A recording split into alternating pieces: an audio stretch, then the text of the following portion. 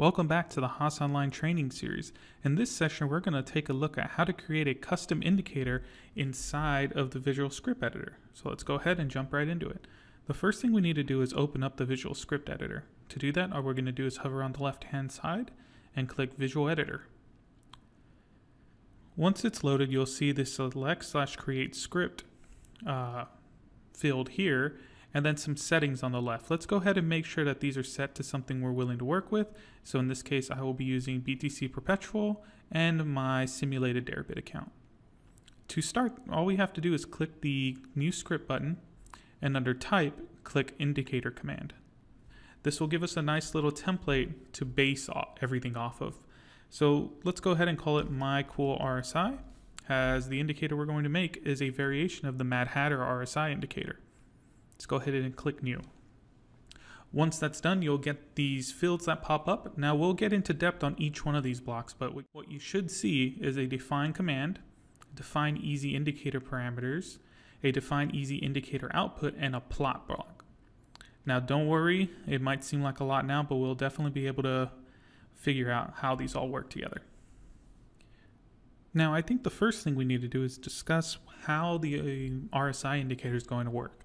Now, to make this easy, we're going to just have some general rules that most people follow throughout um, general trading. So if the RSI is below the buy level and it's rising, meaning the price is going up, we're going to go ahead and signal long.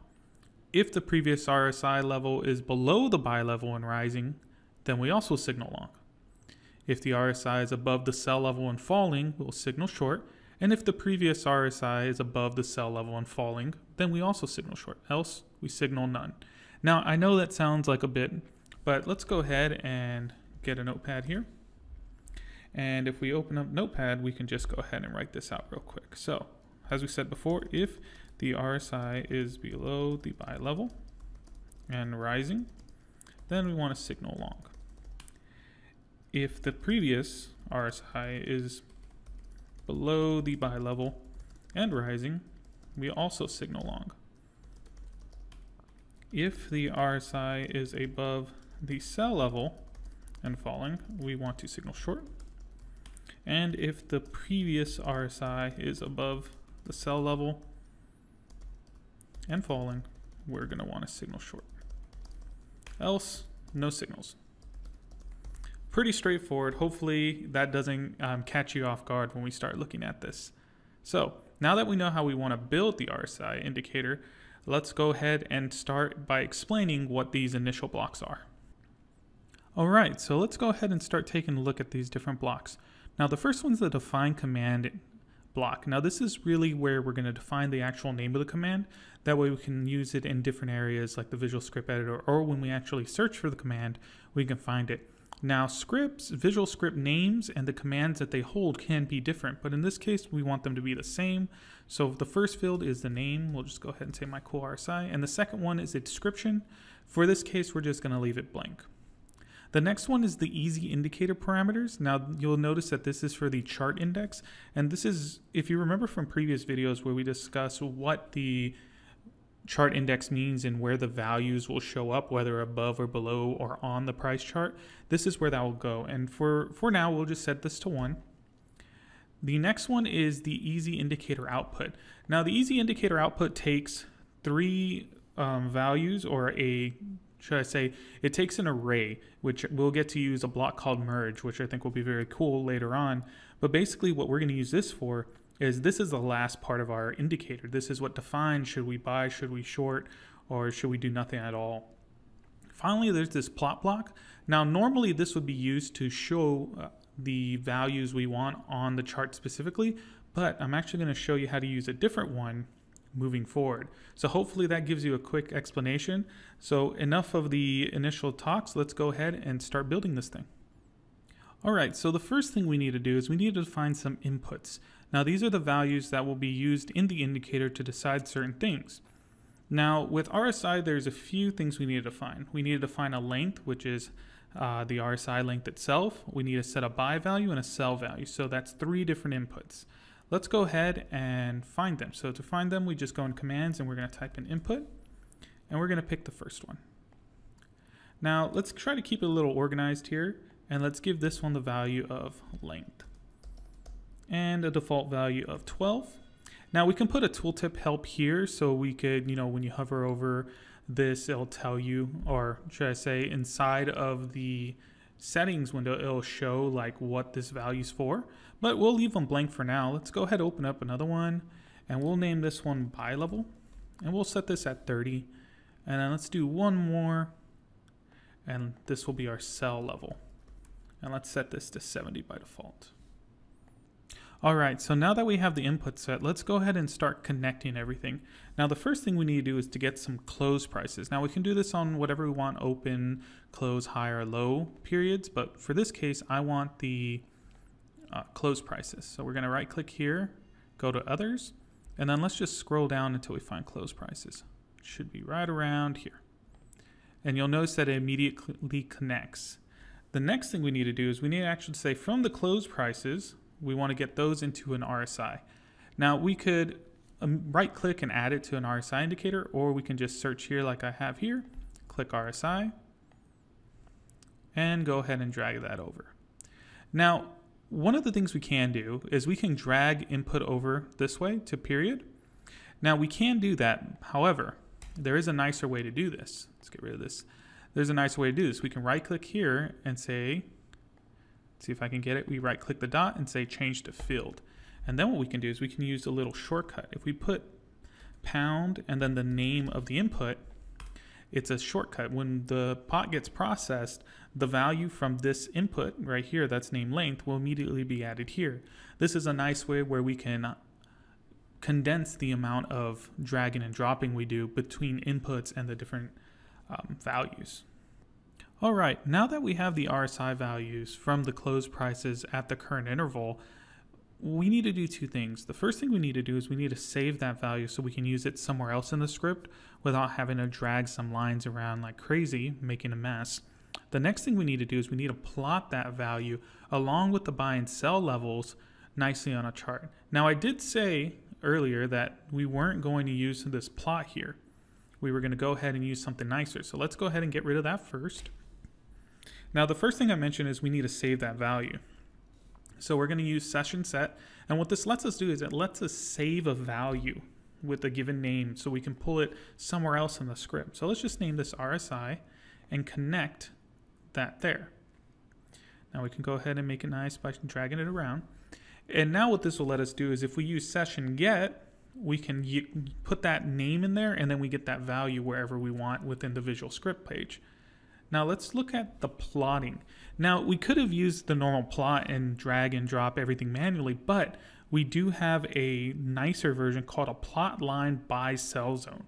Now in order to find it, one of the first things you need to remember is look at command set. This is a filter on all the current commands available. And if you want to avoid some funny mistakes like I had earlier, make sure you set this to all commands. Once you've clicked there, then we can go ahead and search plot line and you'll see plot line by zone shows up. Let's go ahead, put that right here, nice and neat, and we're gonna drag this RSI to source. Now, the next thing we need to do is we need to change these to the field names. So we're gonna go ahead and put part chart index, which will come from here. We're gonna do the start, which we are also gonna change to a field and do the buy level, and then we're going to go ahead and change this to, oops, to a sell level. And then, whoop, looks like we didn't dis we disconnected it. And there you go. So now that we got that done, we can get rid of this because that was an error from the previous drag. We can start on working the logic itself. Okay, so now due to the way that we have our RSI logic, we're going to kind of have to work with this backwards forwards. And what I mean by that is, is we're going to start by doing the previous RSI value logic. And then halfway through, we're going to actually begin doing the current RSI value. Because if you remember our current rules, is the previous RSI value and the current RSI value can both trigger longs depending on which direction they go. So we're just going to kind of move this bit by bit. Now, the first thing we need to do is we need to go ahead and put in a array get. So if we put this array get in, this will let us go ahead and grab a specific value within the array. Now the RSI returns a array of RSI values with the index starting at 1 and the newest RSI value will be at 1 and then the further back you go in the RSI array will be the older the values are from each interval period. So that might sound like a lot, but don't worry. What we're going to do is we're going to drag prices into input and then here, let's go ahead and change this field to a number and put that 2. That will get us our previous RSI value. Now, let's say you didn't want to do that. You wanted to go ahead and use the blocks because that's what you like to do.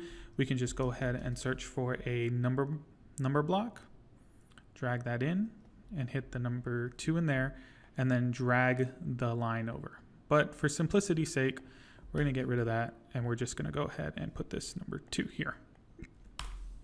Okay, now that we have that, we are going to connect um, a few things. So we need two is bigger thans, and that's because we want to make we want to check if the RSI value and the previous RSI value are bigger than our sell level, and then we need two smaller thans to do if the current RSI price is below our buy level. I know it's starting to sound a little bit more complicated, but don't worry, it's not as bad as it sounds. So let's let's start looking for some logic blocks. At least that's what they're called. Let's look for is bigger than under equations, and we need two of them. So we're going to grab one, and then we're going to grab two. So to do this, what we're going to do is we're going to connect the array get to the first is bigger than, and then the raw RSI value to the second one. Let's try and make a little neat here. And like I said, I know it's it's kind of confusing because we are having to do two bits of logic at the same time. But just look at it this way. This path moving north is our current RSI, and the path going through array get is the previous RSI value. That way we can use those. The next thing we want to do is we need the smaller than blocks. So is smaller than, and let's get two of these. And then we're going to do the exact same thing. We're going to get this is smaller than that. And then we're going to drag this one over to input. And now you'll notice that all of these have a second input. And this is actually where we're going to go ahead and do the previous trick. We're going to change this to a field and put pound sell level. And we're going to do that for the two is biggers. Whoops. Let's go ahead and get that into that. Fix some spelling up here And then we're going to do the same thing down here, but for the buy levels, since these are is smaller than.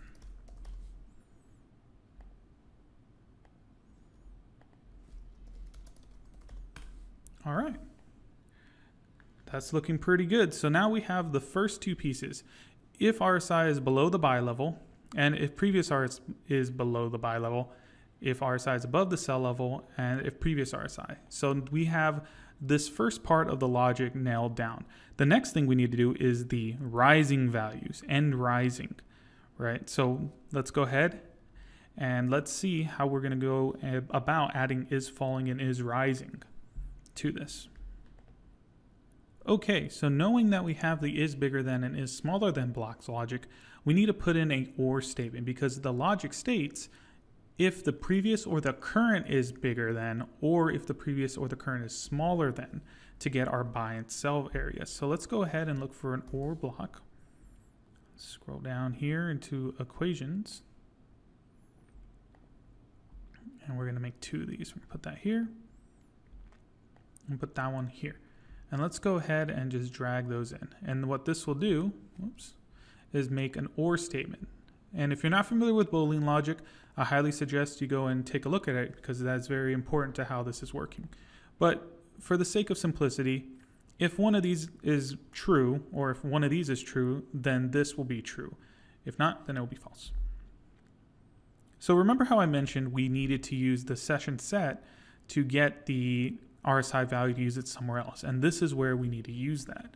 So we could drag from RSI all the way over here and have a line intersecting everything, or we can go ahead and use session get, put that right here nice and neat. All right, let's put it out here. And then say RSI. So now the RSI value from here is available from this block. And this is where we're going to use the is rising or is falling. So let's go ahead and type in is rising. And if we look at this, you'll notice it says checks if the values are increasing towards the newest within the lookback period. It sounds a bit confusing. Don't worry. Is it going north from the previous to the current? So in this case, is the previous RSI value lower than the current one and vice versa, depending on which direction we're going. So we're going to go ahead and say from that, we're going to say the array is this. And then our look back, which is how far in the past we want to look, we're just going to set this to 1. And then we're going to do the same, but we need an is falling block here. And we're just going to do that past there. Change this field to 1. All right, let me see if we can drag over here a little bit. So finally, what we need to do is we need to do an AND block. So if this and this, then actually execute some logic. So what we're going to do is we're going to put an AND block here. We're trying to complete the second half of this. If the buy level and rising or the previous buy level and rising, then we signal long. And then this inverse for short. So let's look up an AND block. Drag that over here. And we can say or this. So if this is true and this is true, then this will be true, else it's false. So if these two are true and somehow is rising is false, then this will be false, if my Boolean logic is correct. And then we're going to need another one here. Put that there, that there. And yes, I know we could make this look a lot nicer, but for the sake of this, this will do for now.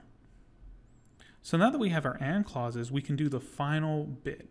We can say the signaling part, the short or the long. So if we want to signal short, go ahead and put this in here and drag it over here. Now you'll notice there's something missing. There's a field here and it's actually a hidden field that almost all blocks have and it's called connector. And basically this will take a value and you will be able to signal different things on it. Now, whether it works or not really depends on what type of value it is, but we know a true or false will work in this case. And we'll just connect that to signal short. And let's go ahead and signal long here, like so. Oops, we forgot a step. Signal long. And then the last thing we need is a signal none. So there will be a no position state. Now we don't have to put this in here. This could just simply be a a always a bot that's always in position, but we want a bot that's capable of uh, being out of a position. So basically what the saying is if both of these are false, then we want to signal none. And we say toggle connector, connect that there. And, you know, I know we haven't been neat in the rest of the video. Let's go ahead and make it a little neater. And then remember how I said that now what we need to do is we need to pass them all to this indicator output. And there's a few ways we can do this, but the way I want to do it is with merge. And what merge lets us do is it lets us put a lot of values into a single array and then pass that to another um, parameter. So in this case, we want all of these values, signal none, signal long, signal short, into this, and then we're going to just merge it into result. So we're going to click that, drag it over there, and that's it. This is how to make an indicator. Now, let's go ahead and make sure to click save, or else we might lose all our work here. Now that we went ahead and saved our script, let's go ahead and try to run it. So if we click quick, quick backtest here, you'll notice that it says backtesting and backtest completed, but nothing happened. No chart, no trades. Let's go ahead and look at our compile log. Now the compile log will pop up a little window here and it'll tell you if everything succeeded or if there was errors. And we can see here there's a blatant big error saying the script is invalid, which meant we have a mistake somewhere. Missing input connection for plot line buy sell zone parameter name. So let's go ahead and scroll over there and you'll notice that not only do we have an error, but the block itself is red, showing us where the error is. And sure enough, we forgot to give this chart a name. Let's go ahead and change the field here and name it RSI. Or better yet, my cool RSI. Let's go ahead and type that, hit save, and if all goes well, we should see everything will happen. We get our compile test okay, and if we click chart, after we run another backtest,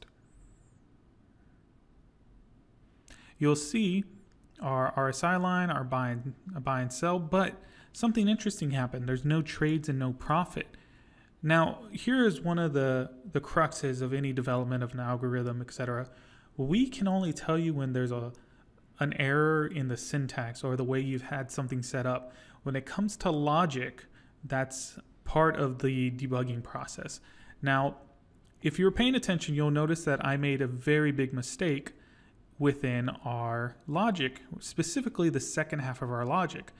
Go ahead and pause for a second if you didn't notice it. But if we read our logic, it says if the sell, if the RSI is above the sell level and falling, signal short.